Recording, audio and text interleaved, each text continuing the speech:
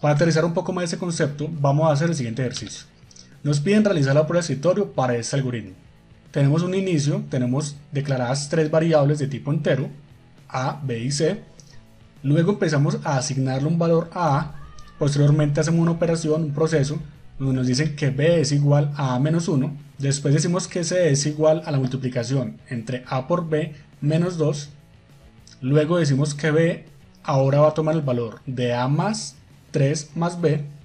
Y por último decimos que A es igual a B menos 2 menos C. Evidentemente nuestro algoritmo no tiene una razón de ser, no tiene como un objetivo para imprimirle al usuario, no tenemos ninguna operación de impresión, simplemente es un ejercicio práctico para que podamos realizar la prueba de escritorio. Como vemos, aquí se realizan diferentes operaciones y ya tenemos agrupados los elementos conforme a la presencia de operadores que vimos en un capítulo anterior. O sea que va a quedar muy sencillo realizar la operación. Veamos el funcionamiento. Inicialmente tenemos esta tabla en la que vamos a definir las variables en las columnas tal como se hizo en el ejercicio anterior. Ponemos en columnas la variable A, B y C y tenemos la descripción del proceso que se realiza. En la primera línea definimos la declaración de variables que serían las columnas de nuestra tabla para la prueba de escritorio. En la segunda línea decimos que A es igual a 2 y por ende asignamos 2 a la variable A. Posteriormente decimos que b es igual a a menos 1. De esta manera ya vemos que el resultado de la operación a menos 1 se almacenaría en b. Por lo tanto, si a vale 2, 2 menos 1 sería 1. De esa forma obtenemos el valor de 1 para b. Luego decimos que c es igual a la multiplicación entre a por b.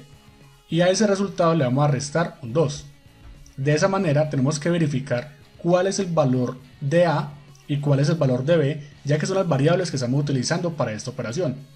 En este caso decimos que a vale 2, porque a nunca ha cambiado hasta el momento. Luego decimos que b es igual a 1, porque fue el resultado de la operación anterior. De esa forma multiplicamos 2 por 1 nos da 2, menos 2 daría como resultado 0.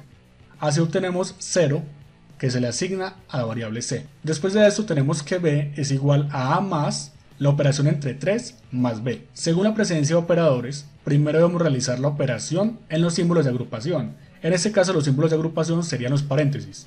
Por esa razón vamos a sumar 3 más lo que vale b. Y si revisamos nuestra tabla, dice que b es igual a 1. Por lo tanto, la operación a realizar es 3 más 1, eso nos daría 4, y a ese resultado 4 ya le podemos sumar a. Y si vemos la tabla, el valor de a no ha cambiado y sigue siendo 2. Así, al realizar la operación, tenemos que 4 más 2 es igual a 6. Ahora analicemos que la columna B ya ha cambiado. La columna B antes valía 1, pero ahora con la nueva operación se reemplaza el valor de 1 por un 6. Como es una variable podemos realizar ese proceso, ya que como lo dijimos en un video anterior, las variables varían, las variables cambian de valor. Y en este caso, la columna B ha cambiado el valor 1 por el valor 6. Ya con este valor de B podemos continuar con el algoritmo y en la última línea dice que A es igual a B menos 2 menos C. Así podemos mirar qué resultados tenemos para cada una de las columnas y encontrar el nuevo valor para A. Adicionalmente, analizamos que cada signo que acompaña las variables o que acompaña el número tiene igual presencia de operadores. O sea que esa operación la podemos realizar de izquierda a derecha. En este caso, vamos a analizar que en esa línea se utilizan las variables B y se utilizan las variables C. Si entramos a reemplazar, encontramos que B vale 6 y que C vale 0. Si hacemos la operación, decimos entonces que 6 menos 2 menos 0 nos da un resultado de 4. De esa manera ya terminamos la prueba de escritorio y ya hicimos seguimiento a nuestro algoritmo. Vimos cómo reemplazar valores y reasignar valores resultantes en nuestras variables.